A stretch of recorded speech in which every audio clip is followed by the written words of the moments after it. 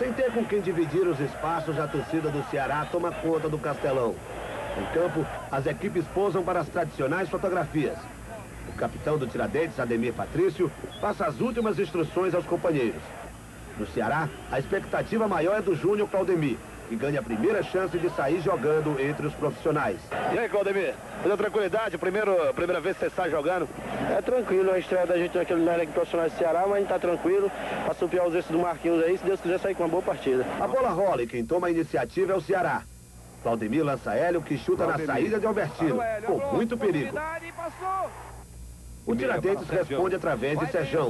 Roberval defende e Cláudio coloca para escanteio. Agora é a vez de Ademir Patrício. Ele chuta forte, mas é muito alto. Os ataques do Tigre deixam o torcedor preocupado. Mas por pouco tempo. Ivanildo é lançado e na disputa com Joãozinho é derrubado. Houve o pênalti, marca! Marcos Brasil. O artilheiro Hélio bate e faz. Chutou e é gol!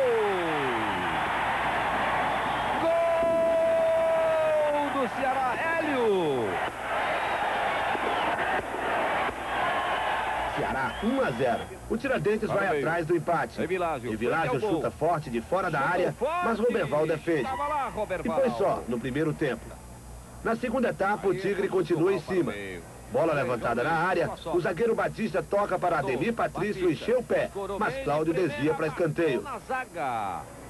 Neste lance, Roberval quase entrega o ouro. Veja só que bobeira. Ivanilda quem salva. Quase Cosmani faturava. Agora observe bem este lance. Claudemir entra sozinho na área adversária e cruza. O zagueiro Batista se atrapalha e na sequência acaba tocando com o cotovelo na bola. Veja por trás. Pênalti. Os jogadores do Tigre ficam inconformados, mas de nada valem as reclamações. Hélio mais uma vez bate e faz o décimo primeiro gol dele no campeonato. E haja comemoração. Ceará 2 a 0 cobrando a segunda penalidade da partida. Agora no placar do Castelão. Ceará 2, Hélio. Mesmo inferiorizado no placar, o Tiradentes não se entrega. Nesta boa jogada, Ademir Patrício tenta surpreender Roberval, mas o goleiro está atento. E o Ceará continua se dando bem nos contra-ataques. Gilmário lança Paulo César, que entra sozinho para fazer o primeiro gol dele com a camisa do Ceará. Veja aí a alegria do PC.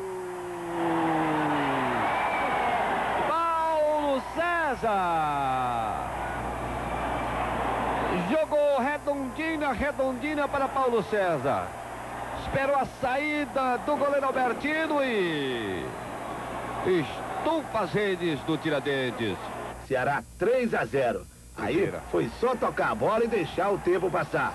Final de jogo, esta é a primeira vitória do Ceará sobre o Tiradentes neste campeonato. Agora, o Alvinegro só precisa de um empate na próxima quarta-feira para se sagrar campeão do segundo turno. E aí, PC, como é que você se sente fazendo o seu primeiro gol com a camisa do Ceará? É, com muito orgulho, né? Inclusive a moçada sempre brinca muito comigo, porque dois anos de Ceará eu nunca é, fiz um gol. Mas tá aí, eu acho que depois de um trabalho que eu venho fazendo, é, na, na, na, parte clínica e na parte física agora com o coronel. Eu acho que a recompensa está aí. Aos poucos estou voltando à minha forma física e técnica, depois de muitas contusões. E graças a Deus hoje ganhei uma bola lá atrás e saí no contra-ataque e fui até a frente. Recebi e só foi tocar na saída do Albertino. Eu acho que foi muito importante esse gol para mim. O Tiradentes se considera derrotado no turno ou ainda vai lutar? Não, eu acho que o, o Ceará conseguiu ganhar na hora errada. Tem a quarta-feira, a gente vai trabalhar e vai conseguir o objetivo nosso um grande juiz que vai, vai apitar, eu espero que, que venha. E pode botar, bota, bota ele mesmo. Eu acho que ele não vai errar duas vezes enquanto eu tiro dentro. Eu espero que o nosso objetivo, quarta-feira, vai ser vencido.